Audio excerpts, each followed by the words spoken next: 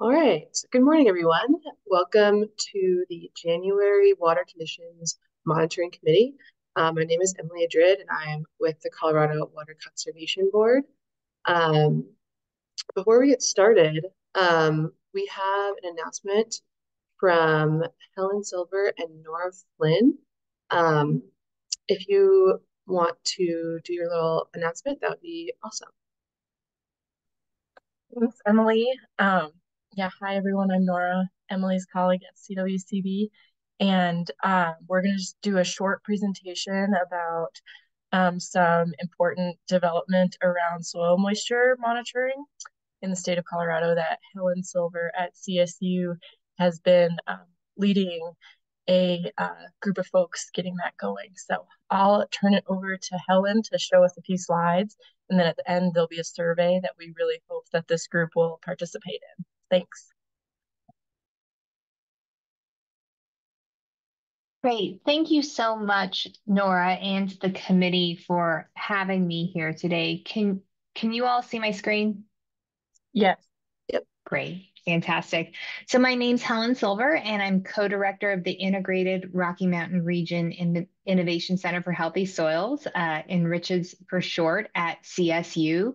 And I'm really excited today to talk to you about the Colorado Open Soil Moisture Infrastructure and Monitoring Project.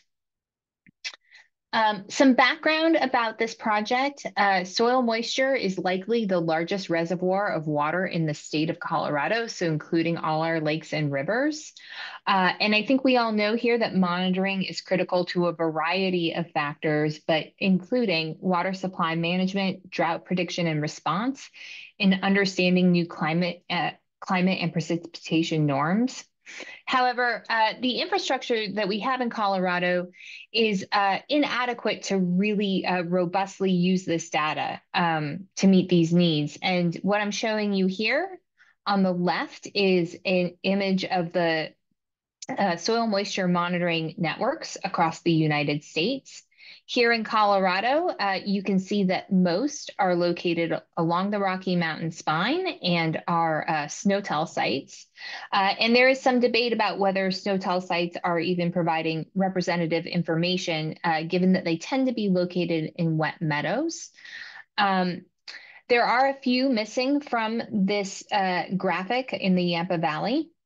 Uh, but as you can see, we've left large swaths of Colorado unrepresented. So before I dive into the objectives of this project, I want to note first that this is a first step in a long-term investment for Colorado. But um, the first objective is really to strategically expand soil moisture monitoring um, throughout the state. So really fill in those geographic gaps that you saw. The second objective is to develop a publicly accessible web-based tool uh, that could be used to forecast water supply and inform predictions uh, and weather-related hazard uh, prevention and management. Uh, we envision this network taking data from existing networks, new networks, and providing one common place. Uh, we envision that it will provide rapid, real-time information to policymakers, scientists, and others, um, provide better information on current uh, conditions and future, future conditions, and really help inform science-based policy design and implementation. Uh, here is a um, graphic. I am not a great artist on how this, uh, how we envision this working. I'll let you look at that in your own time. Uh, in terms of near-term project phases and timeline, uh, stakeholder engagement is central to the mission at Enriches. So we have been engaging in stakeholder and community efforts uh, since April, and this will continue throughout the life of the project. However, we've really ramped it up in November, December, and January. Uh, because we are really looking to the community to help us with this project uh, through two surveys. One is a survey on um, the technical aspects of existing networks. And the second is a needs assessment, which will help us really determine how to bring and expand our soil moisture going forward and design the web-based tool. So we're hoping that folks can complete this in January and February.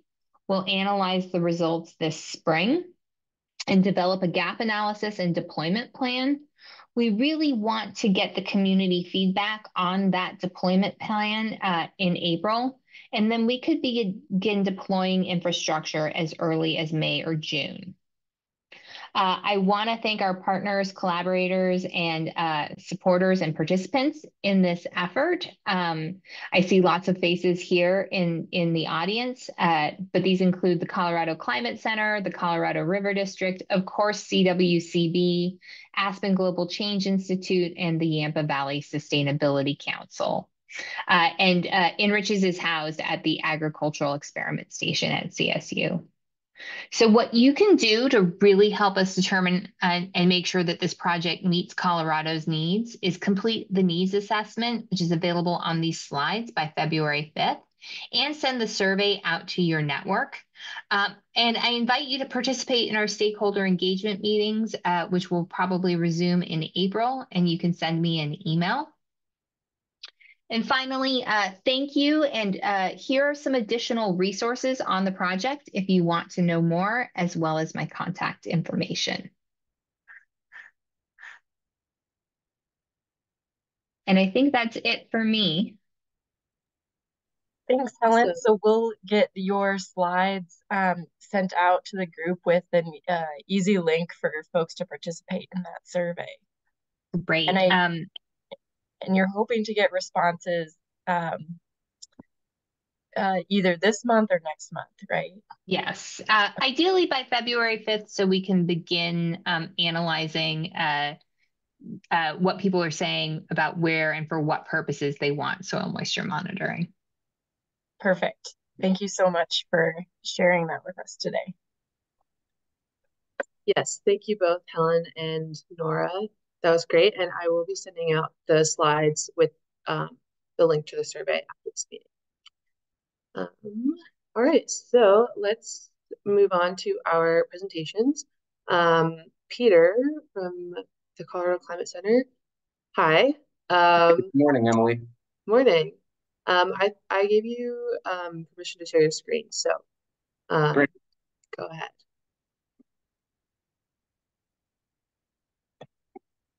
Okay, can you uh, hear me and see my screen? Yes. Perfect. Good morning, everyone. For those who may not have met me, my name is Peter Goble, and I'm a climatologist with the Colorado Climate Center, and I'll be giving our typical uh, state climate update. Welcome, everyone, to the first update of 2024. For those who may not be familiar with the format, we're going to start with taking a look at some broad brush conditions across the state with a large emphasis on temperature and precip over recent months. We'll do a little bit of a drought conditions update, although admittedly this part's going to be a little bit shorter than normal just because when we think about drought in the winter, a lot of what we think about is related to snow. And so I'll save that for the NRCS with your next presentation. Then I'll give a little bit of seasonal forecast info. We'll look at where we're going in the coming weeks and how things might change um, even later this spring or summer. And then I'm going to take a couple extra minutes at the end here today to talk about an update we did to the Climate Change in Colorado Synthesis for Water Managers document from 2014. Our office worked with uh, Jeff Lukas um, to create a an updated version of this with just the latest state of the science and what climate change means um, for Colorado with a specific emphasis on water. So we'll take a little bit of a look at that and I'll provide a QR code for those who may want to dig deeper with that information. All right, so we'll start with one of our quadrant charts here. We are looking at October through December temperature and precipitation conditions statewide. Here, your x-axis shows the accumulated precipitation in inches, and the y-axis shows the average temperature. And where those dashes meet is where I believe your um, 1991 through 2020 normals are. And we can see the star marks, um, well, it's 2023, but it's actually water year 2024, the first quarter of water year 2024. Um, and you can see that we're squarely in that uh, warm and dry quadrant. Now, things have changed since we rolled over to calendar year 2024. Certainly, temperature has reverted to the mean a bit, and even precipitation as well. We have seen um, some rebounding numbers with our high elevation water year-to-date precipitation, as well as seasonal snowpack since the start of the calendar year. So while we're squarely in the warm and dry here, things have gotten arguably a little bit better or a little bit closer to normal um, since then. Here's a look at just the month of December. It was a very nice, mild December, a mild start to winter, um, a bit of an easy start to winter. That said, snowpack did lag behind normal during the month of December and has since, you know, picked up, and we'll talk more about that later, or NRCS will. But we definitely had an easy start to winter at 5.6 degrees Fahrenheit above this long-term average that goes back to 1895 to 2023. And since we know that we are experiencing a warming trend, I also tried to put this in context uh, next to a more recent normal where we were 4.4 degrees Fahrenheit, even still above the 1991 to 2020 normal. And you can see that our largest anomalies were, um, for the most part, east of the Continental Divide, if I were to show a zoomed out view here, there were some anomalies that would absolutely leap off the charts uh, further to the north and east of us. I think the um, December temperature anomaly for the state of Minnesota was something crazy like 17.1 degrees Fahrenheit. So uh, Colorado, not exactly the epicenter of this warmer than normal uh, wave that we saw throughout December, December, but certainly a much warmer than normal start to the winter. And then this looks at October through December, or that first quarter of the water year, where again you see um, widespread above normal temperature conditions, top 10 on record throughout this long record, and 2.6 degrees Fahrenheit above our most recent 30 year normal of 1991 through 2020.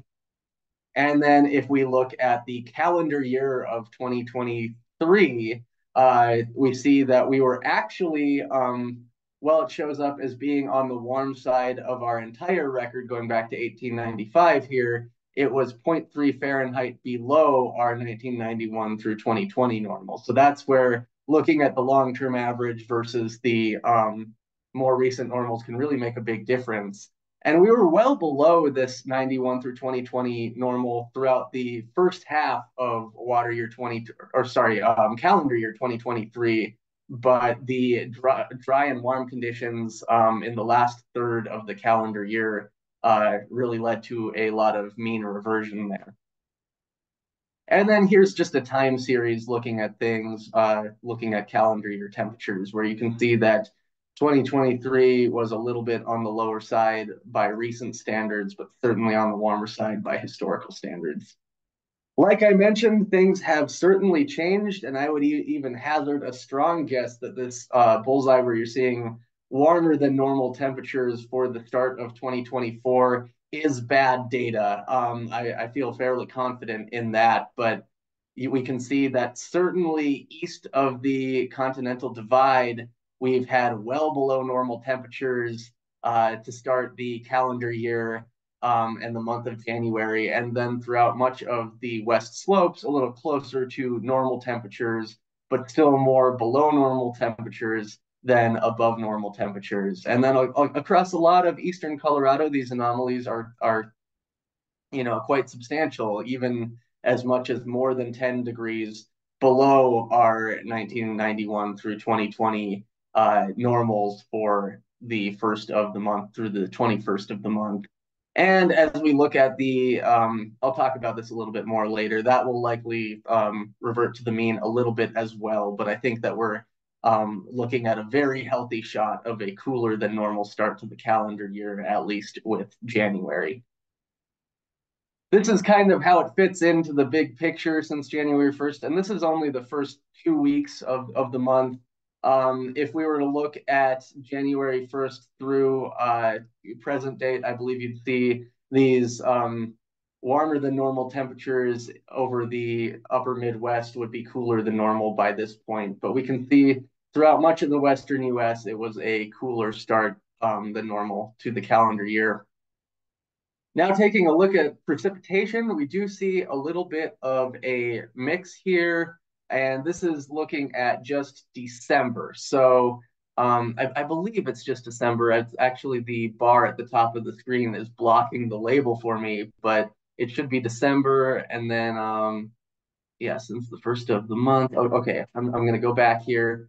Um, let's see here. Our, our ranks for December, we actually had a little bit wetter than normal out on the eastern plains, but you have to keep in mind that this is the uh, dry season for the eastern plains, whereas it's the wet season in the high country where conditions were closer to normal. And I believe that for a lot of the high country, it, it would have been a drier than normal December with um, things getting uh, wetter since the beginning of January.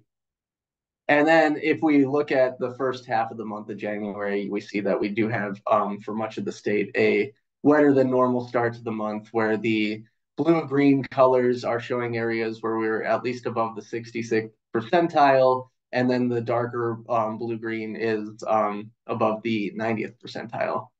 And then this is the last calendar year. This is calendar year uh, 2023. I don't need to be able to see the label to know that because we see the footprint of uh, May and June shown prominently uh, across the Denver metro area and just to the east of the Denver metro area, where we had parts of um, Adams, Arapahoe, Elbert, uh, Douglas County, as well as up into Morgan and Weld counties, where this was the uh, wettest year on record, and that was due in large part to what happened back in May and June. And recalling back to you know June July timeframe, we were in a position where uh, snowpack had been good for the most part in 2023. It wasn't super robust everywhere in the high country, but for a lot of our high country, snowpack was good in 2023. And then we had this nice wet spring out on the plains.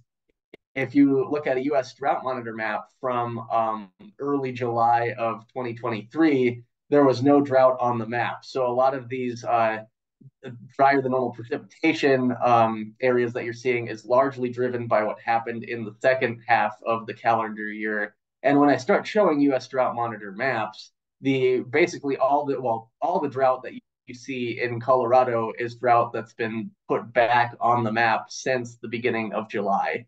So um, definitely tale of two halves with uh, 2023, where we started out really wet and then we went dry for certainly the last third of the year. And you can see when we look at the precipitation time series for 2023, yes, we were above the long-term average and we were above the 91 through 20 normal, but there was quite a bit of this um, last dot in the time series. If we even looked at the water year, um, where we're excluding October, November, December of this year, would have jumped up more as being a wet year. But we we did see um, reversion to the mean in the last uh, third of this water year for sure. Um, this slide just shows some of the temperatures that we measured from the COAGMET network throughout our cold snap that peaked with uh, some of these low temperatures on the morning of Martin Luther King Day. Uh, the coldest one in the state looks like it's the um, minus 35.2, or actually we got all the way down to minus 39.1 in Cowdrey. So that North Park Valley, um, often a candidate for some of our coldest temperatures in the state, but the cold anomalies would have likely been more extreme in the um, South Platte River Valley uh, in, in Weld County there, where we're seeing some areas that were below minus 25 or even minus 30. Uh, definitely a large cold snap in the middle of January this month. All right, so that's going to wrap up my climate conditions update, but now we're going to take a closer look at some recent uh, US drought monitor maps and how things have changed. We'll look a little bit at soil moisture, although like I said, this portion of our um, updates tends to be a little bit longer and more involved during the growing season than it is uh, right now. So here's a current look at the US Drought Monitor map across Colorado. a lot of this is uh, what we would call short-term drought, where it's based on impacts of less than uh, six months of dryness, but we do see that quite a bit of the state is showing at least abnormally dry with um, much of southwest Colorado or all of southwest Colorado ostensibly in at least moderate drought, and the San Luis Valley showing some severe and extreme drought, again, largely based on what we saw in the um, last six months. Um, some of those standardized precipitation index um, maps are showing some D3, D4 type SPIs in the southern portion of the San Luis Valley. This is actually a bit of an improvement over what we saw a couple weeks ago, just with some of the better snowfall photos that we've seen in the northern Rockies in the re in recent weeks. Um, and snowpack coming back more towards normal values. This is a change map showing how things look now versus how they looked 12 weeks ago. The areas in uh, the warm colors or more uh, brown and, and, and beige colors, even if you get into the uh, large degradations, are, are showing areas where the US Drought Monitor looks worse than it did 12 weeks ago. Areas in green are where it looks better. So there's more worse than better on this map, but there are a few areas across primarily western and northwest Colorado where things have improved just in the last couple weeks here. And then this is showing where we are now based uh, against where we were a year ago. And you can see that much of the eastern portion of the state looks better, largely owing to the nice wet growing season that we had. And then much of the western portion of the state looks worse because at this time last year, we already had some pretty good snowpack numbers. Um, whereas this time of year, the snowpack numbers that we see, and of course, NRCS will talk much more about this, um, are on the lower side of normal, particularly in that southwest portion of the state. All right, here's a look at uh, soil moisture, and this is kind of zoomed out, but we're looking at zero through 100 centimeter soil moisture percentile, valid as of this morning um, from the NASA Sport Group um, modeling group. We do typically have more zoomed in maps for Colorado. I just haven't had time to make those this week as we had an all day meeting yesterday, but we can see that there's a number of uh, areas across the state that are showing um, drier than average soils, and particularly in western Colorado, that's something to watch just given that soil moisture can soak up some of the snowpack that would have otherwise gone into runoff come the uh, runoff season. Uh, it's interesting to note that the drier than normal, the much drier than normal soil moisture conditions in northeast Colorado really follow the South Platte River Valley. And I would hazard a guess that the reason for that is that in the river valley, the soils tend to be uh, quite sandy. And because of that, things uh, drain more quickly and you see more of a short term reaction to dry conditions versus the areas that we have uh, more loams or clays are better at holding on to um, moisture that may still be around from a wetter or much wetter than uh, normal spring. But for the most part, the wetter than normal soil moistures that would have been at least temporarily associated with May and, and June, uh, we're, we're probably past that now. All right, with that, um, I, I think that's going to conclude what I what I have for the drought update, but now I'm going to go ahead and show some slides regarding the outlook for the coming weeks and months. We'll start with just the seven day precip outlook, then we'll look at the next couple weeks, and then we'll talk about um, more of a seasonal outlook and how that may be influenced by what we're seeing with uh, the El Nino Southern Oscillation or the current El Nino conditions that we have and what might happen to those going forward. Overall, it looks like the next seven days will largely um, err on the dry side it looks like we could have a little bit of a weather system move through uh, that gives a little bit of moisture to the southeast quadrant of the state, but it'll be a drier than normal week for our Colorado Rockies. Um, the San Juans in particular may see a little bit of moisture this week, but it won't be as much as even a normal week for this time of year those are areas where you need to see an inch of moisture per week this time of year really to um, keep up with normal. And then uh, where we have this low here um, up over Buffalo Pass, the fact that it's uh, one point almost 1.6 inches below normal for the forecast for the um, coming seven days tells you about how wet that area is climatologically. That um, somewhere could be over an inch and a half below normal uh, for one week of precipitation, um, whereas much of our eastern plains sees, uh, in many cases, less than 1.5 inches of precipitation for January, uh, December, and February combined. Okay, here's a look at our 8 to 14 day outlook.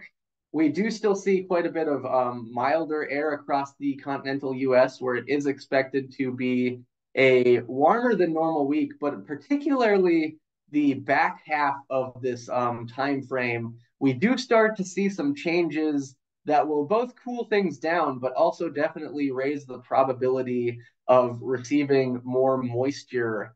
Um, it does look like there uh, is is likely to be some sort of an atmospheric river event in a lot of our um, weather models sometime uh, between about February 3rd and February 7th, where we should we should see a good corridor of moisture come up from the Pacific Ocean and hit somewhere along the west coast. But of course, at this um, with this much lead time, it's still a little bit fuzzy as to what extent that will impact Colorado. I would bet on it impacting Colorado in one way or another but that doesn't necessarily mean it'll favor your portion of the state. Some of the model runs that we're looking at show a nice big snowfall event over the southeastern uh, plains of Colorado, whereas some show more of a mountain snow event. So it's a little bit early to know who is going to benefit from this, but there is definitely some optimism that we could see above normal moisture at some point in the first week of February. I'll be at Steamboat for part of that time, so I'm hoping that it shifts north, but we will see what happens. Now, as we get beyond that 8 to 14 day range, at that point, our atmospheric weather condition models really uh, descend into chaos, where just um, small errors in the inputs in the initial conditions to the model can lead to large errors over time. So you have to rely more on uh, how the atmosphere tends to react uh, statistically to slower moving um, parts of the Earth's climate system, like the um, ocean surface and the ocean surface temperature patterns that we see being the biggest example, but also um, land surface temperature and moisture patterns. And this time of year, the big thing tends to be what's going on over the um, tropical equatorial uh, eastern Pacific. Do we have warmer than normal waters over that area or cooler than normal waters. We certainly have warmer than normal waters over the eastern equatorial Pacific, and we are in an El Nino event right now. And that tends to have impacts on what happens with our jet stream up in the mid latitudes of the northern hemisphere, where during a La Nina, you tend to see a strong, one stronger, more unified jet stream that goes further to the north Whereas in El Nino, you get a weaker jet stream with split flow that can bring uh, a little bit more moisture um, to the southern US. And this is a look at a breakdown by season of the statistical correlation between El Nino and precipitation.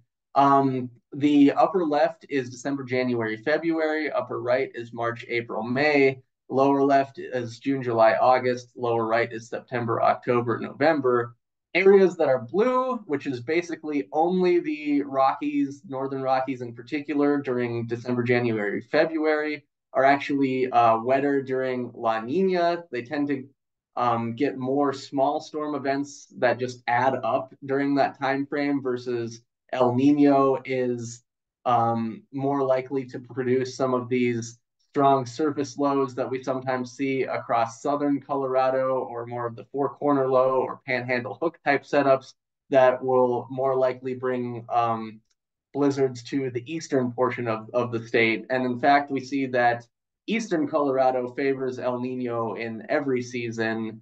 And in spring, the whole state favors El Nino. So if we can hold on to El Nino conditions, El Nino is often or more likely than not associated with we may fall behind with snowpack early, but we can make it up late. So we're kind of hoping to hold on to those El Nino conditions. Unfortunately, some of the um, models for what might happen with El Nino going forward do show it breaking down by the time we get into uh, March, April, May. How quickly this breaks down um, will make a difference, most likely, in what type of spring that we see from a precipitation standpoint. We've got a 100% chance of holding on to El Nino through at least this uh, kind of January, February, March timeframe. But as we lean into April and especially April, May, the odds of things reverting back to, to neutral start to really creep up close to 50%. And then by the time we get into um, early summer, late spring, the odds of going neutral uh, go well above 50%. So we'll see how long these conditions um, hold on. So here's a look at the uh, Climate Prediction Center outlook for um, February. We um, do see a fairly El Nino-like signal with temperature here where we have above normal conditions to the north and this near normal would normally be below normal, but I believe that's um, increased confidence in near normal largely because there's this trend towards uh, warmer than normal temperatures. And then we, we also see um, a fairly El Nino-like signal with uh, below normal precip in the Ohio River Valley and above normal to the south of that. But we have a lot of uh, equal chances across the state of Colorado, or um, what we like to call equally clueless. I kind of think that I should have put an up arrow in green across eastern Colorado because this was issued in the middle of January. And, you know, only five days have passed since then, but we know a lot more about this um, up coming uh, first week of February, where if we do get a decent snowstorm across eastern Colorado, it doesn't take much to go above normal in February. Um, you can see that there is the signal towards above normal uh, for the southwest US that doesn't quite extend into Colorado. If we do get one of those um, atmospheric river events in the first week of February, Hopefully that'll have an impact on the mountains as well. But since normal conditions are higher in the mountains for February, I feel much less confident saying we could stretch that green all the way across western Colorado um, based on one precipitation event, because we're certainly going to need more than just that one event to go above normal. But we'll see what happens. Here's a look at, uh, there's a little bit of that um, El Nino signal across eastern Colorado showing up in the Climate Prediction Center seasonal outlook. Um, although it's not as it's not present further to uh, the west. That's where really we would need El Nino to hold on into March, April, May to start talking about maybe showing increased uh, chances of above normal precip across a greater portion of the state. Um, and then if, if we look at March, April, May, you see that actually diminishes a little bit. And I think it's largely because uh, there's there's a chance that the El Nino kind of collapses before we really get into April, May, where maybe you could extend this further across the state if we knew that El Nino was going to hang on, but we don't know that at this point.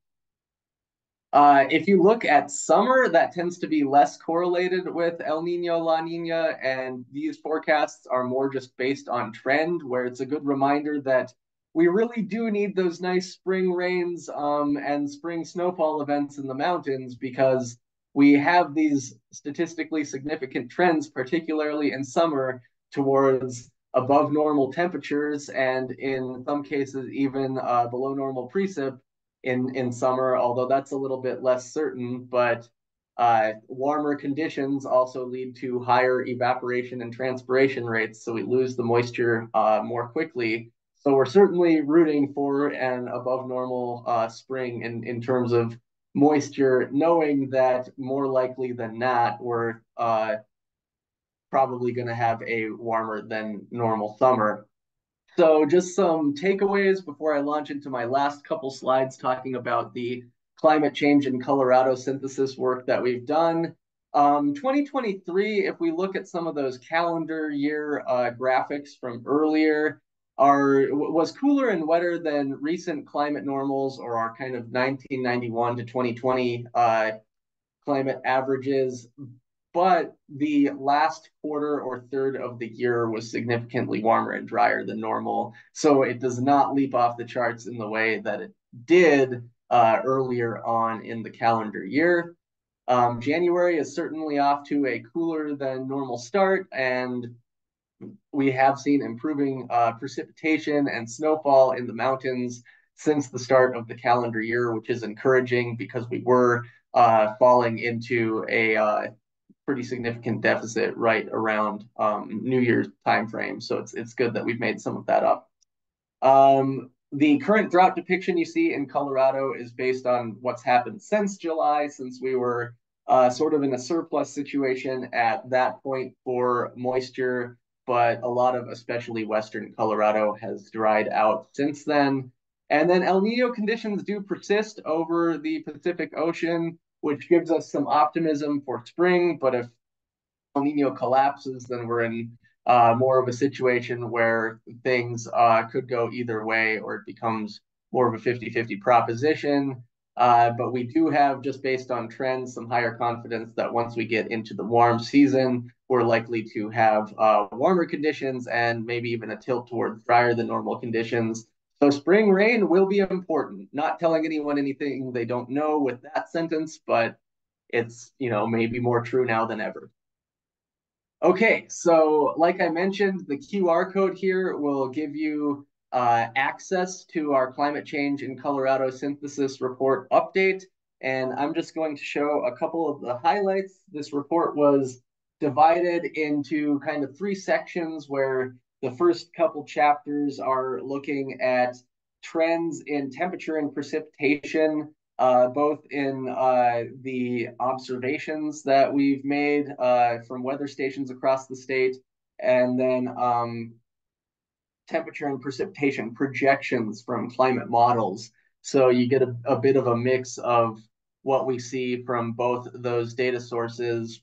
And then chapter three is all about water, where we're looking at potential changes in snowpack by the mid to late century, and what that means for our runoff season, as well as what that means for soil moisture and evaporative demand. And then chapter four of this report is largely about how a warmer climate changes the probability of various weather hazards that we experience across the state. So I'm just going to show a one slide um, kind of teaser for each of these chapters, starting with temperature, where people who attend uh, these these um, meetings regularly won't be surprised by this, but both in our recent observations, we see a trend towards warmer than normal temperatures across the state, as well as uh, our climate model projections showing a high degree of confidence that that will continue.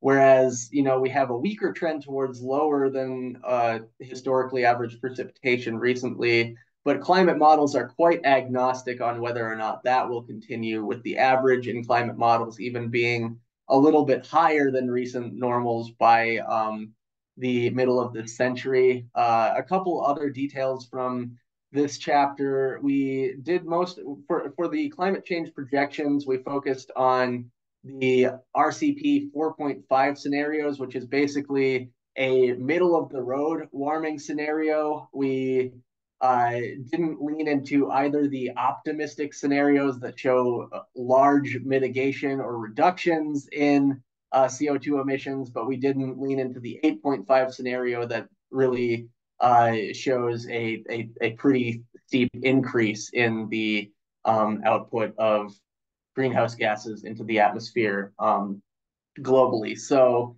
in a way, the true range of variability that um, we may be facing is is not fully captured in this report since we uh, largely stuck to the middle of the road emissions.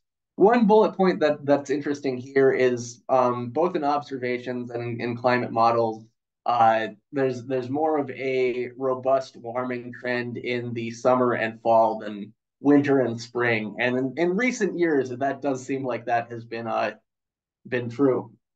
Um, here is a look at a time series for precipitation statewide, where we can see that we've certainly had more than our share of drought years since 2000, but the overall long-term trend in precipitation is a little bit less clear. And like I mentioned, climate models uh, tend to show e- either a weak um, moistening or a weak drying, but they, they don't show nearly as significant of trends as we see in um, temperature.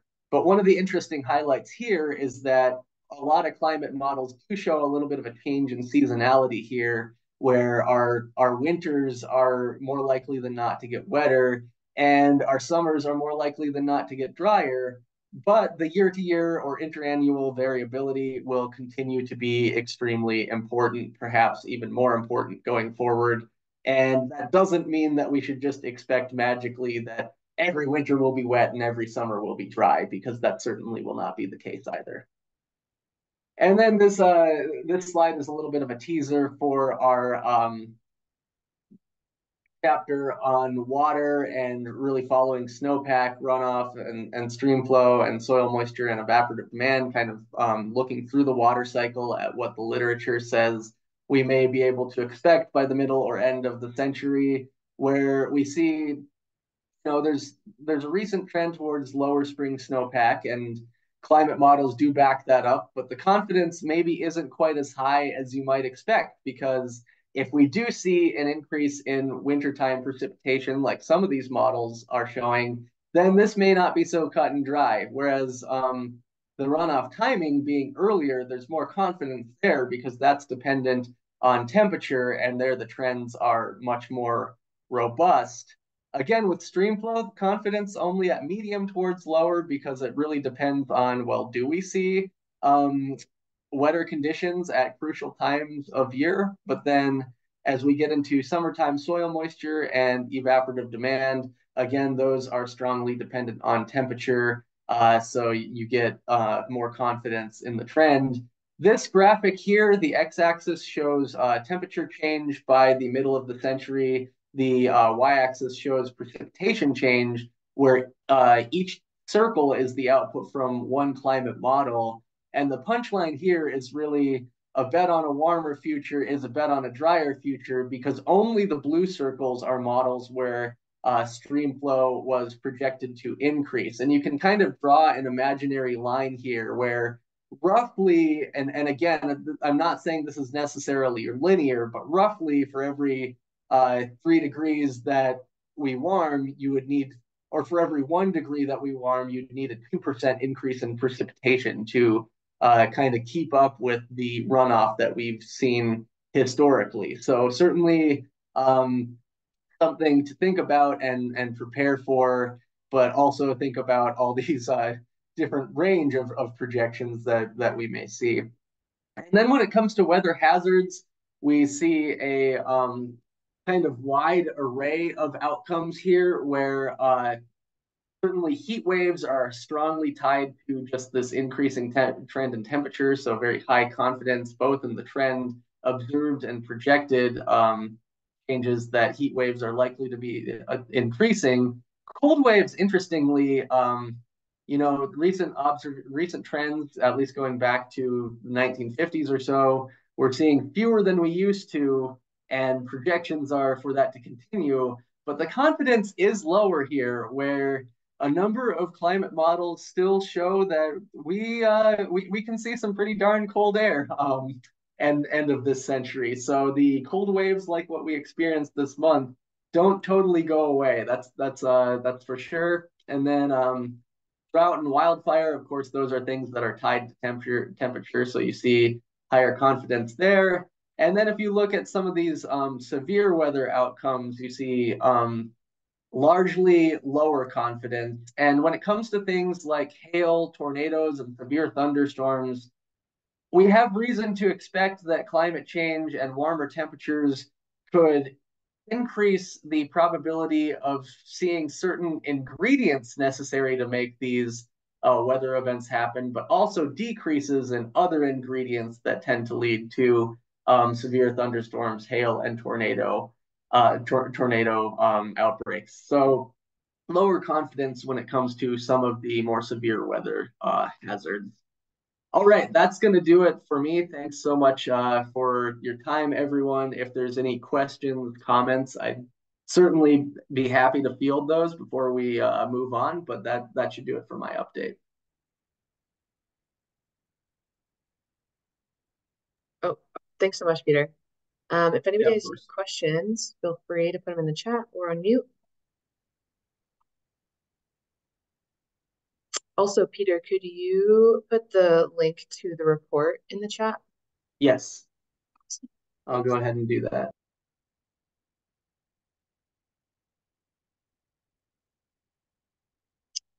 All right, well, if there's no questions, um, we can move on to our next presentation. But before we do that, I wanted to, I forgot to mention this earlier, but if you weren't able to attend our last meeting in November, um, I made a little announcement that we've rebranded the name of this group. So, um, you know, previously we were the Water Availability Task Force or WATF, and now we are the uh, Water Conditions Monitoring Committee or WCMC. And the reason behind this name change is because the name task force um, implies a group that convenes, does a task, and then disbands. But um, that's not really what this group does. We're, we're an ongoing standing meeting, so the new name matches um, the real function of this group. So wanted to just note that for everyone in case there was any confusion.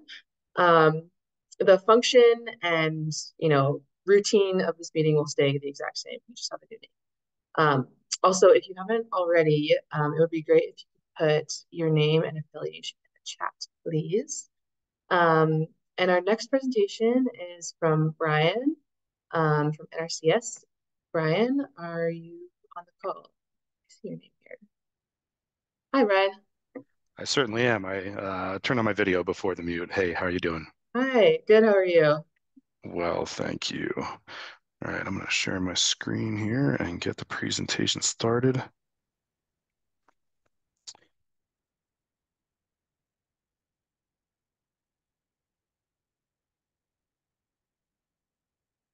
Can you see my screen? Yes. Okay, great. Uh, I am presenting from uh, a rather unfamiliar location here. Um, I'm on travel this week with a bunch of people from our program, uh, providing some training. Uh, and uh, at a time or two during Peter's uh, presentation, which is always great, uh, really appreciate that, Peter. Um, I was having a little bit of connection trouble, so hopefully I don't have any issues. Uh, let me know if I do. Um, but I think in general, the connection has been pretty stable. So um, if it's not, I can uh, turn off my video and um, hopefully that'll improve it a little bit. All right, so I'm gonna go ahead and get started. Um, gonna do the typical round robin around all the basins of the state and then get into kind of um, statewide conditions and the statewide conditions really provides the the the best kind of rounding um, in terms of uh, the best summary of what's going on and even kind of dives in a little bit into some of the the, the specifics in, in some of the basins. Um, but uh, it's good to go through each one of the basins uh, and, and, introduce um, a lot of what we're the conditions we're seeing. So, as we typically do, start off in the uh, Yampa White and North Platte basins. The reasons we the reason we um, combine those basins is because in general they tend to behave uh, the same uh, or experience weather patterns similarly. Uh, so we combine those, even though uh, the the two basins flow into um, uh, very different oceans. Um, so starting off and looking at the uh, Yampa and White combined basins, uh, snowpack as of yesterday when I updated this presentation, and as you're looking, as we're looking at these maps, uh, here's where you'll look uh, for the updated date. I did go through to make sure that all of the slides that I put in here were in fact uh, updated as of yesterday. Uh, hopefully I didn't make any mistakes or miss anything, but uh, I did not update them this morning. Uh, it usually takes me a, at least a few hours to update this presentation. So I took care of that yesterday. And as I was mentioning, uh, and as Peter mentioned, uh, the storms that we received in the earlier part of January uh, definitely gave us a good boost. Um, we were in very much in need of that boost. Uh, unfortunately, I would argue, and I think many others monitoring the situation across the entire state, the, the boost that we received was not quite as, as much as we would have liked to have seen, um, mainly because the deficit in snowpack that we saw or we were experiencing prior to, or prior to January, in the beginning part of January before the storms hit, um, snowpack was quite low. Um, and and the storm that we received uh, in most areas boast, boosted snowpack, you know, 20 to 30 percent. But when we're 60 percent of normal for snowpack and we get a 30 percent boost, that only puts us at about 90 percent of normal. You'll see the conditions are a little bit better than that in some locations, but that's just a, a general um, kind of example of what we've been seeing.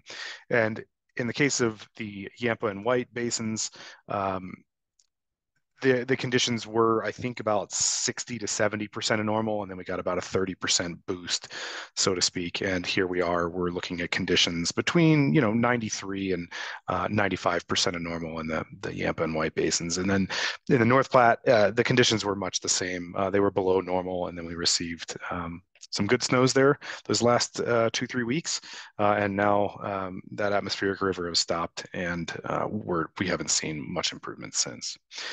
So in looking at these um, time series graphs, you'll see that this really is the best way to view how significant the improvement was.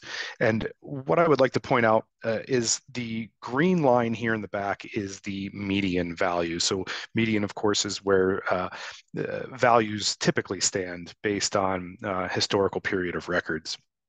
And the black line is uh, this year, is 2024. So you can see that in the beginning part of January, uh, snowpack was quite low. Uh, probably more uh, better uh, described with uh, significantly low, if not near record low. Not all basins were near record low, but the Yampa, White, and Little Snake combined basins uh, was near record low, you know, very, very close. Uh, and then we've got, uh, we received those storms. That storm track that we saw from this atmospheric river was particularly beneficial to uh, the Yampa and the White, the Park Range, uh, the Park Mountain Range, and the basins to the north. Uh, and you'll see here in future slides that the basins to the south did not see quite the improvement that the uh, northern basin saw. So you can see that we went from pretty much record low to right near normal. Uh, we did for a while match up with that uh, normal or median line. I'm using uh, normal and median synonymously in this case, but we have since dried out a little bit and uh, you can see that now uh, snowpack across the entire combined Yampa White and Little Snake basins is 98% of normal. Sorry, my cursor continues to disappear. So you can see, look for, as we're going through these graphics and these graphs, the percent of median value can be found in this second line in this text box. One last thing to point out uh, right now, I will not necessarily point them out throughout the remainder of these time series slides, but I did try to go through and pull out uh, similar years. Uh, in the case of the combined White Little Snake, I did put 2023 on there and the remainder I did not, uh, but I did try to find uh, the most similar year to this year at this point um, in terms of uh, the particular trace that we're looking at this year. So in precipitation, I selected uh, the uh, a uh, very similar year, and here in this case, 2016 uh, is the most similar year. I, I, went back on average about 15 to 20 years uh, to find what the most similar year is, just to kind of put it in context for those uh, of us who have been around for a little while. Okay, I'm going to start going faster through these slides. Um, precipitation in the combined uh, Yampa White and Little Snake is fortunately slightly above normal. Again, really nothing to write home about. 102% of normal is right in that range. Uh, did see a good improvement. Precipitation here was not quite as low as it was for snowpack, um, but it was still pretty low, flirting with uh, that 10th percentile. Looking at streamflow forecast based on our January 1 data, keep in mind uh, streamflow forecast are based on beginning of the month data, so January 1, February 1, March 1, and so forth. Uh, so come February 1, uh, we will uh, quality control our data, pull in reservoir and other information, streamflow data, and then generate our streamflow forecasts, which are typically published on about the fifth working day of each month. Uh, here uh, for the January 1 streamflow forecasts, um, you can see that in general, streamflow forecasts were largely below normal. So you can see the median line here in the light gray. And then looking at the most probabilistic outcome, the 50% exceedance, which is uh, in the green area or the middle of all of these uh, lines or ranges of forecasts that we provide. That's the most probabilistic outcome, but we have to remember that it is quite unlikely that the actual outcome will be right at that 50% exceedance. It more than likely will be somewhere in here, and it is most likely to occur uh, that it will be, for example, this outcome, but realistically, it will be somewhere in this range, right? If you have any questions about streamflow forecast, do not hesitate to reach out to us. Here again, uh, streamflow forecasts are, are looking uh, to be below normal based on those January 1 conditions. And I'll go into some of the improvements that we saw uh, at the end in our state, uh, the statewide slides. You'll see how uh, how much we improved, and then might be able to extrapolate uh, what uh, streamflow forecasts we may anticipate come February 1, at least based on the conditions that we're seeing right now. Uh, in the Laramie and North Platte basins, again, an improvement. precipitation is now at 97% of normal. Uh, and then combined reservoir storage uh, for the three reservoirs in uh, the Yampa White and Little Snake basins are all very close to normal. You can see um, that uh, the terminus on the right uh, for uh, which is January 1 and the reservoir storage that we collected data for are all showing very close to the median line, which is the black line in the middle. Streamflow forecast in the Laramie and White Basin, we only have one streamflow forecast, and that's uh, the North Platte at North, Northgate. Uh, again, looking at below normal runoff there might be a slight improvement based on the snowpack improvements that we saw, but um, it wasn't quite the improvement that we wanted to see, as I mentioned before. Uh, another way to look at those streamflow forecasts, just showing them graphically here. Here's that uh, North Platte at Ridgegate, and then a number of the other forecasts off uh, on the west side of the divide in the Yampa White. Moving on into the uh, headwaters of Colorado, where we realized uh, the biggest improvements from uh, the snowstorm and where uh, snowpack is actually the best in the state right now.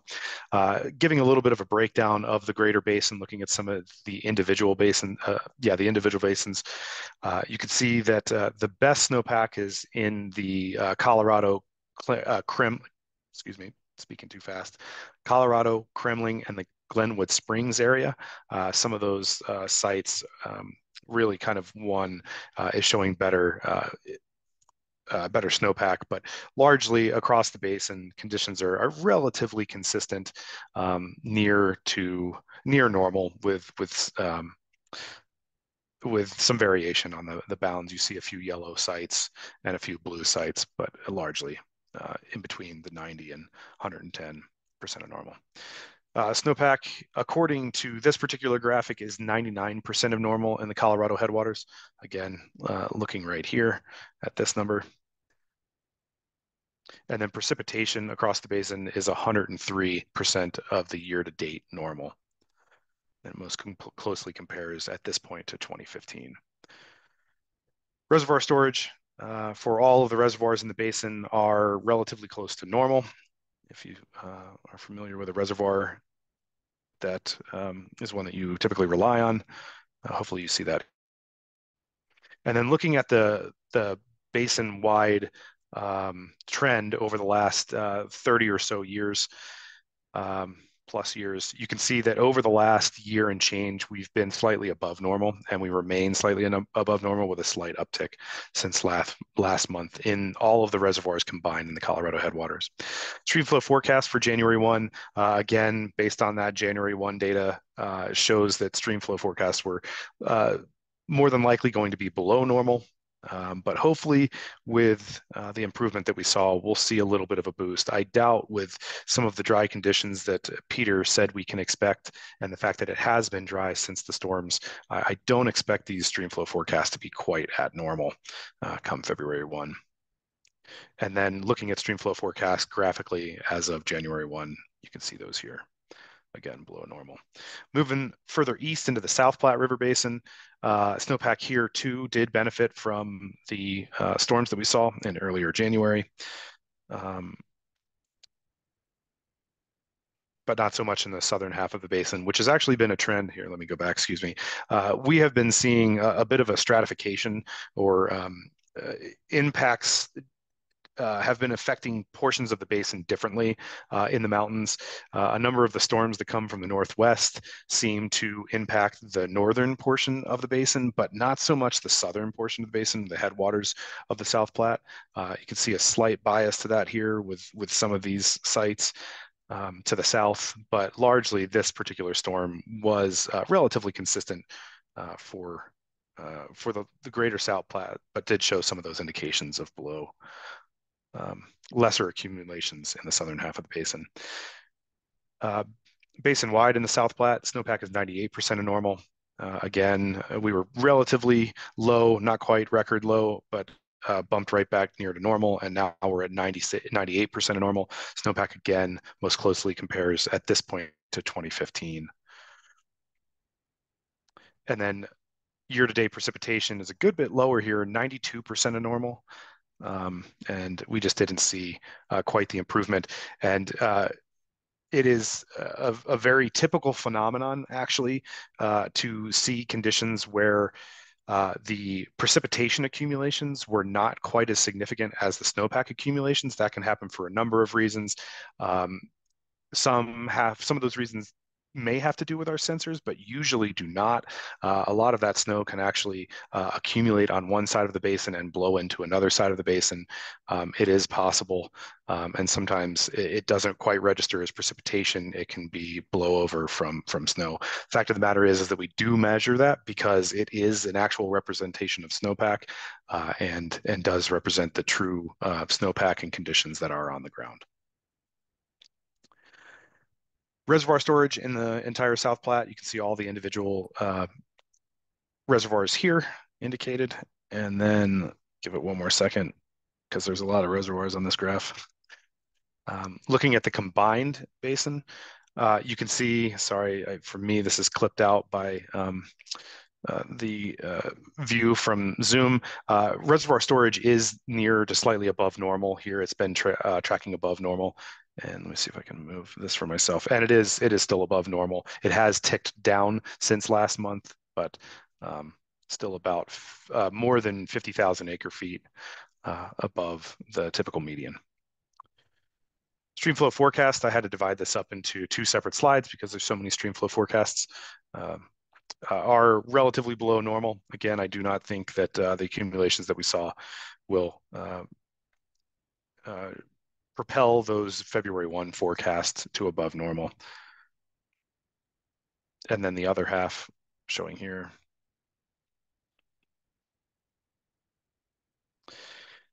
And then uh, viewing the streamflow forecasts um, on the map here.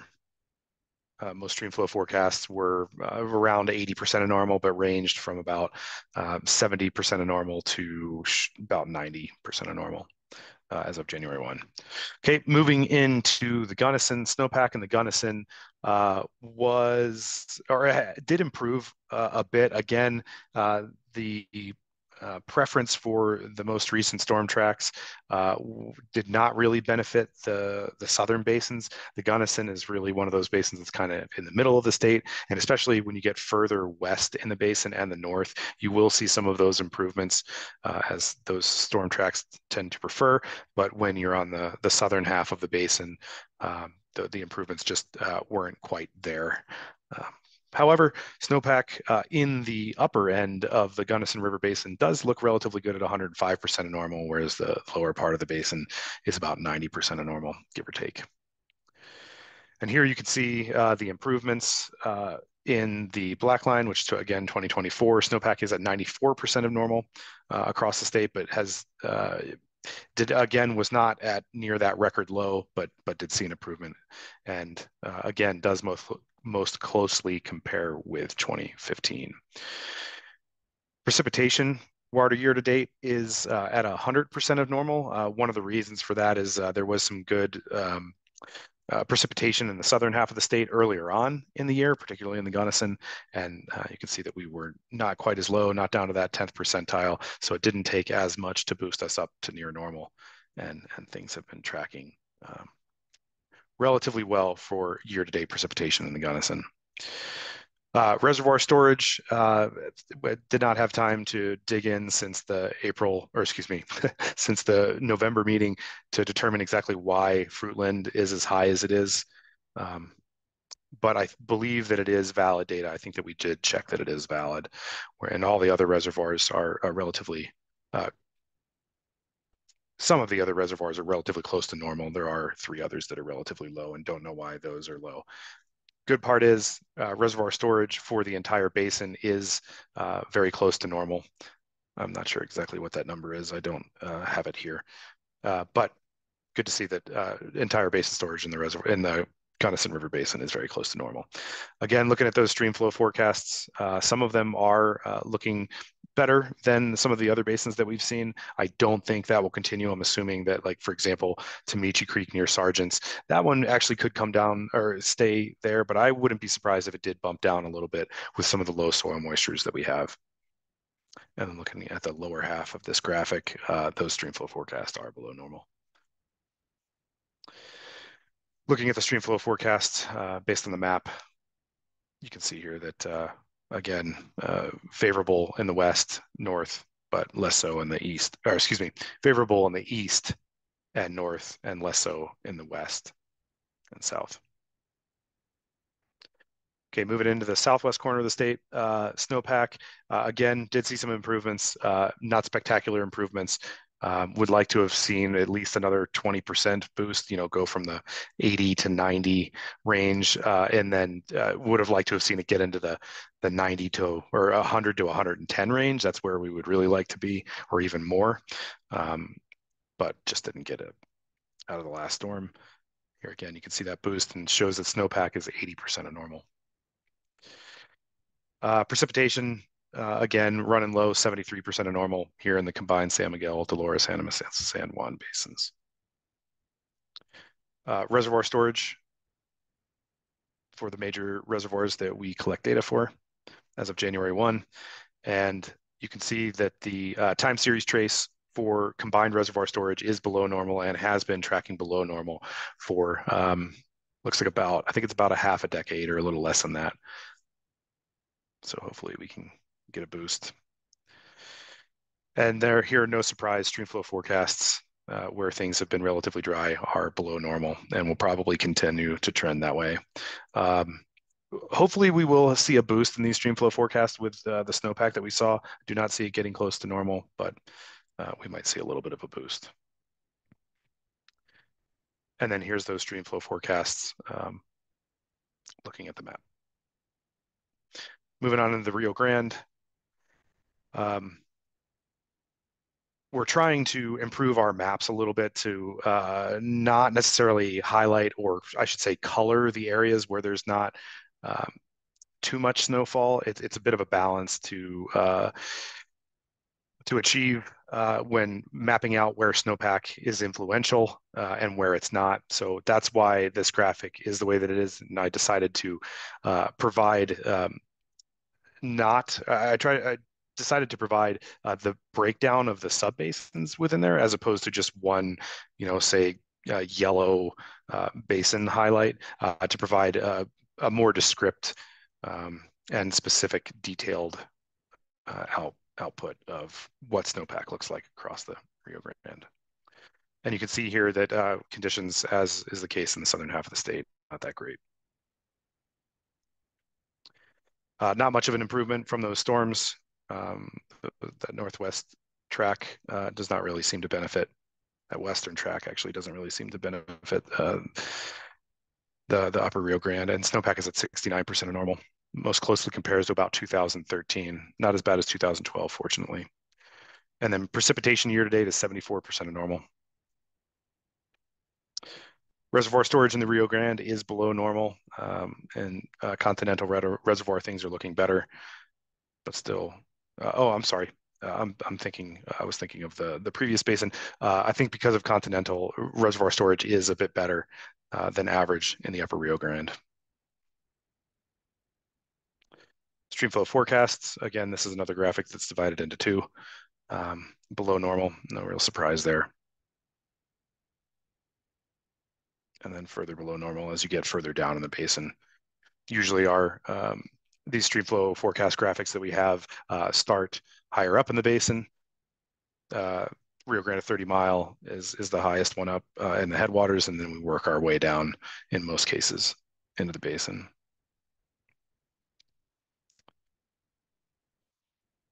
Looking at those forecasts graphically, here you can see that again, here's the upper end of the basin here in the west, and then uh, Rio Grande flows down and out to New Mexico. Okay, uh, last subbasin in the state, the Arkansas um, snowpack uh, is a bit better in the the northern uh, portion of the basin.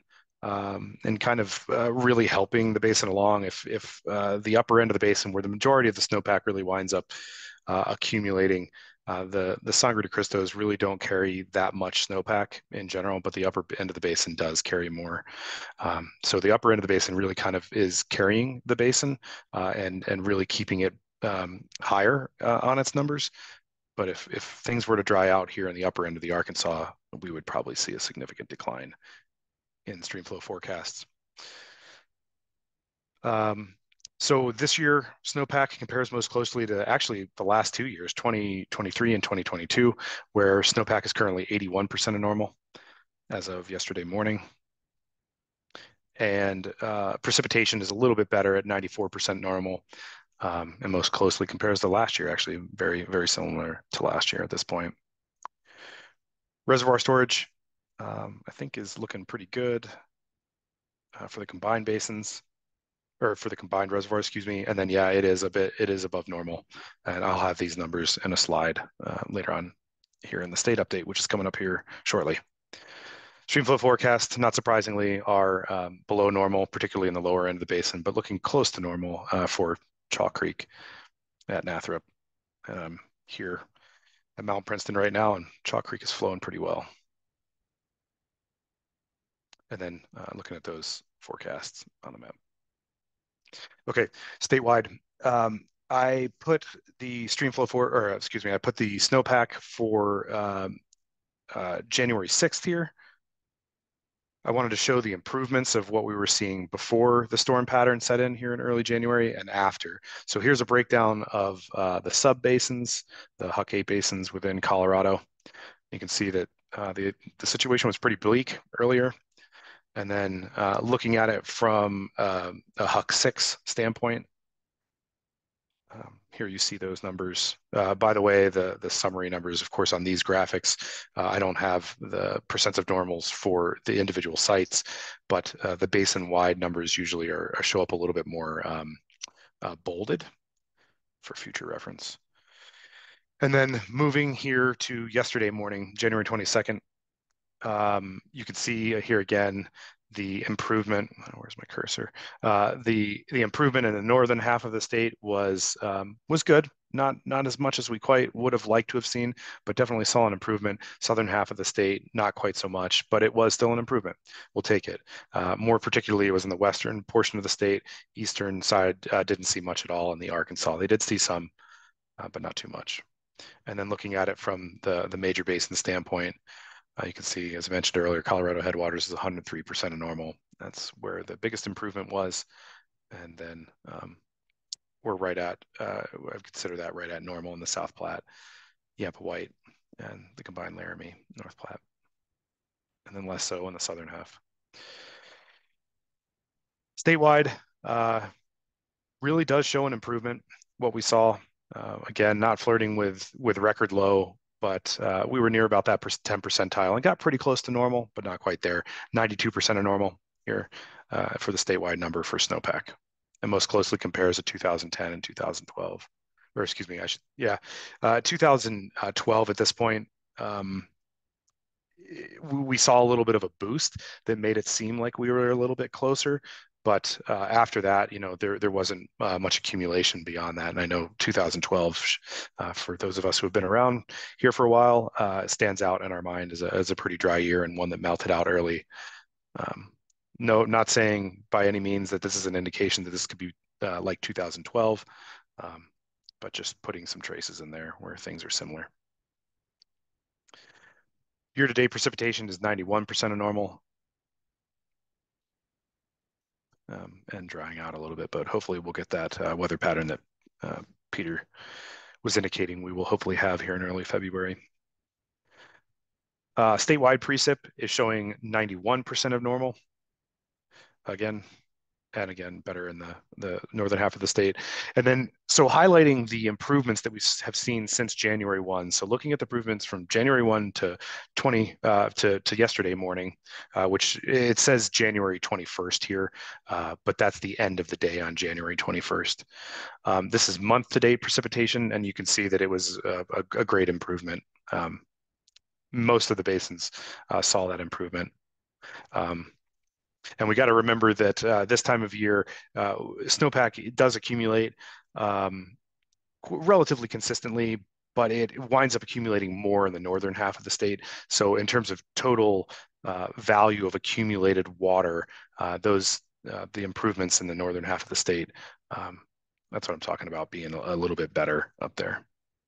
And actually, I guess I stand corrected. I didn't realize the Arkansas um, saw 205% uh, of normal. I think it is usually pretty dry here, which is why it was able to achieve 200% um, of normal accumulation.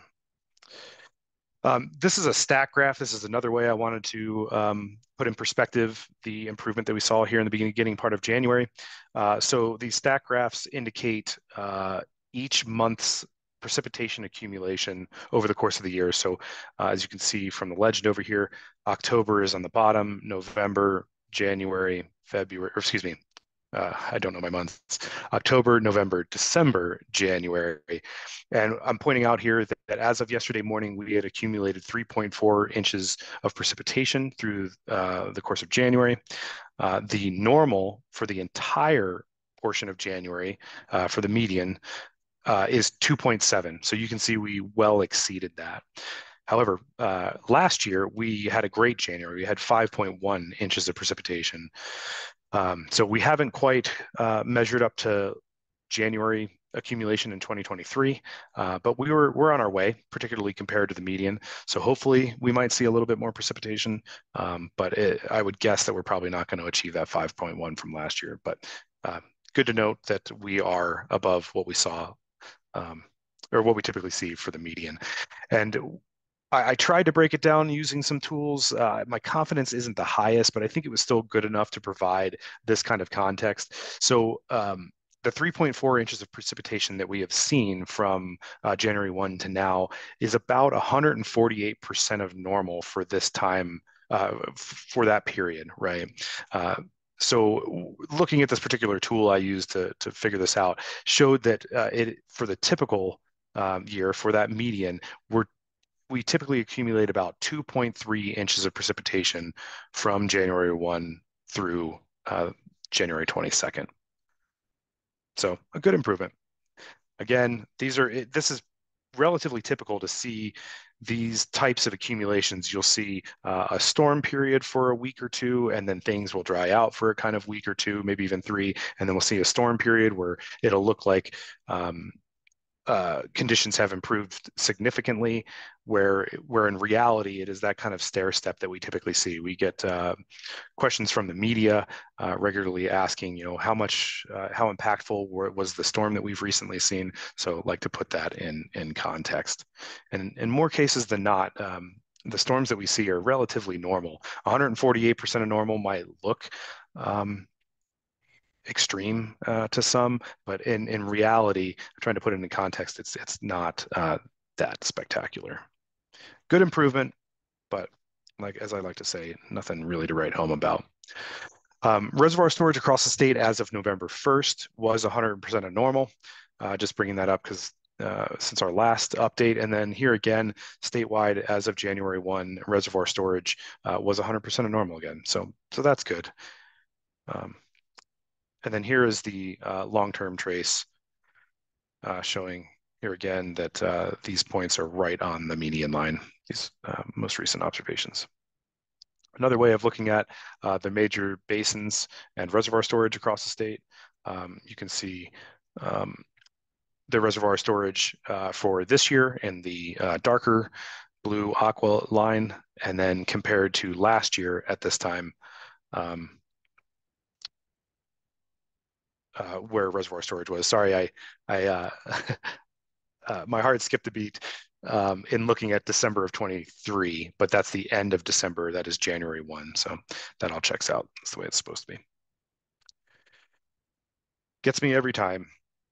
Uh, reservoir storage, looking at all of the major basins across the state, just looking at it in a different way, seeing where they stack up. Oh, sorry, and this was November 1, forgive me. Uh, the slide was November 1, and then here is January 1. Again, uh, reservoir storage for a whole for the whole across the state is 100% of normal. Statewide stream flows as of October. I always like to put this in the presentation this time of year because uh, stream flows and antecedent stream flows are an important indicator of uh, how thir thirsty the soils are. So whatever snowpack we see uh, winds up sitting on top of uh, those soil moistures. Those soil moistures are kind of indicated by the stream flows. Um, and and shows that you know in the Colorado River Basin uh, with uh, stream flows being 116% of normal in October, uh, I wouldn't think that the soils are going to be so uh, hungry for the snow melt. So when the snow does melt, um, hopefully we will see a more efficient runoff. Hopefully, I think conditions can change over the course of the winter. Usually they don't change too much. Uh, but however, in the rest of the basins, we're seeing that there is uh, stream flows were low in October, and uh, that usually indicates um, some kind of soil moisture deficit. Um, so uh, could indicate that uh, the soil moisture will be hungry for moisture when snow first starts to melt and may um, uh, subdue some of that runoff uh, and, and in charging the soils. Streamflow forecast as of January 1, looking at it from a, uh, oh, I'm sorry, I forgot to update this one. I thought I caught them all. Uh, sorry, this is January 1, 2023. This was my red flag here, or blue flag in this case. So in summary, uh, snowpack right now is 92% of median statewide. Uh, early January storms provided that boost, but it wasn't as much as we needed. And said that a bunch of times. Um, at this point in the year, we're a little bit more than 50% of, of uh, normal snowpack accumulation. So we have the other half of our, our snowpack to accumulate here. Um, hopefully, we will see uh, at least normal, if not more, to make up for some of those deficits. Um, but we'll just have to see. As Peter mentioned, uh, sometimes those spring storms uh, can help out a lot, but um, they seem to be uh, they seem to prefer certain portions of the state. Uh, has definitely been a trend in previous years. Uh, statewide reservoir storage is 100% of normal, and statewide precipitation is at 91% of normal. So that's the end of my presentation. Happy to take any questions.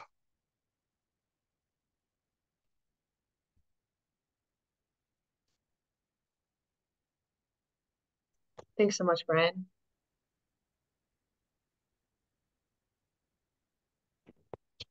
Hey, Brian, this is Nathan Elder with Denver Water. Can you talk a little bit about how your forecast model changed for this year? Um, and any background on on that would be helpful. Sure. Um, so I would direct you to uh, Karl Wetlaufer and Gus uh, Goodbody. Uh, they're the ones who are, you know, kind of implementing it. Uh, Karl actually um, took a position with the Water and Climate Center, so he's no longer with the Colorado Snow Survey Program, but he's working for the um, with NRCS and uh, at the, our national headquarters. So I will give a brief 30 to 60 second uh, overview of, of what it is. Um, for all of the streamflow forecasts that we provide in Colorado, we have been transitioned uh, from our Viper forecast model to our M4 forecast model. Now, forgive me, I can't remember what either Viper or M4 stands for, but what the the M4 um, model has uh, not only it, it, has increased the number of models that are used in helping in the predictions. So not only does M4 use the previous Viper technology, which is multiple linear regression um, and principal components analysis, but it also uses a number of other machine learning, um, a number of other um, regression analyses, and I can't remember the one other component now that you've put me on the spot, Nathan. Um, so that's a very brief update. There are there's very long papers that have been written on the new um, the new M4 model. Uh, I think I can distribute that. I, I, can check if if anybody's interested. Um, and, and Nathan, have you visited with Gus or um, Karl on those on the new model? No, not not yet. Okay, great. Yeah. So the the best part about the new model is um, it is going to be seamless there is not going to be any difference in the output. Uh, we're still going to provide the range of streamflow for or potential outcomes.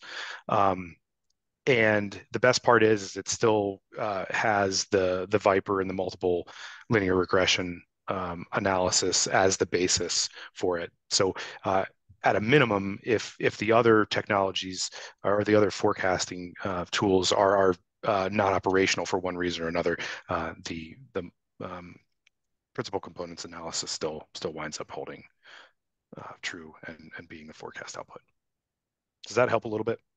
Yeah, yeah, thank you. Okay, and you have Gus's information and, and uh, Karl's information, right? You can reach out to him or do you need me to provide that to you? No, I've, I've got it. Thanks. Appreciate Excellent. it. Excellent. Great question.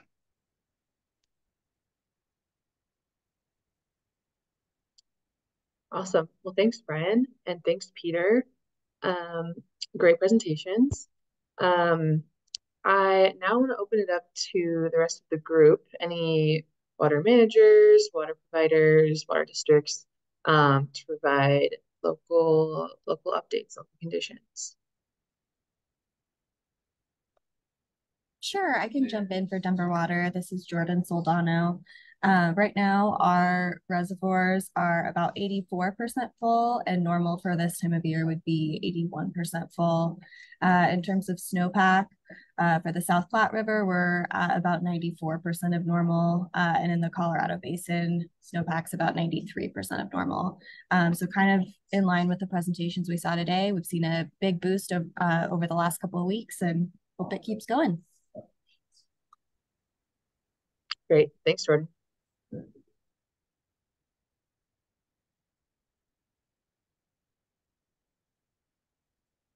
Anyone else want to provide an update?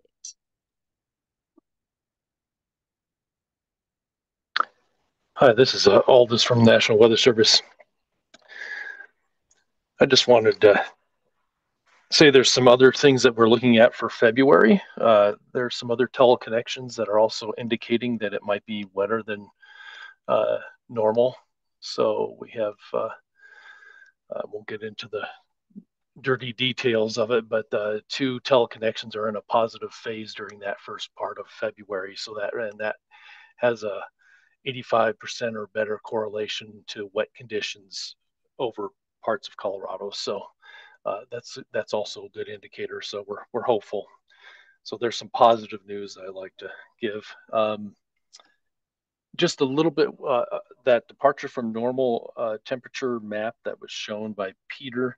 When I looked at some of the data, there were at least two stations that were warmer, um, and it was overnight temperatures that were warmer. It still may be some data that could be bad, but it looked like uh, the analysis bumped it up warmer by two degrees over what the actual stations did. So that it, it might have been warmer, but maybe not quite as warm in that area eh, by Gunnison. And then uh, uh, just wanted to, we had some uh, ice jams form because of this colder temperatures too on some of the rivers, including the South Platte and the Arkansas, and a few uh, smaller uh, smaller ice jams out in the western Colorado. But we we did see some ice jam. No Uh, there was some flooding issues on the Arkansas a little bit, and South Platte it remained within its banks just barely. There was a, one area by um, in Morgan County that was right at bank full with that uh, ice jam, and they're starting to release as we warm up. So that's all I have. Thanks, Aldis. Thanks for that bit of good news too. Um, any any West Slopers want to provide an update?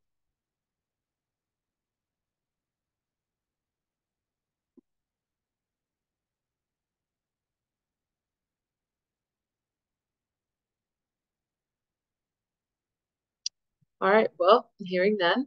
Um, it is one minute after the hour, so um, oh yes, hi Adrian. Oh, I just have a a, a quick. It's not really an update, but um, one of my stakeholders caught a really cool video of an ice floe on the Oh, San yeah. Miguel, sort of coming down the channel right at you. Um, I'll just drop that in the chat, and anybody that wants to check it out can watch it. Perfect.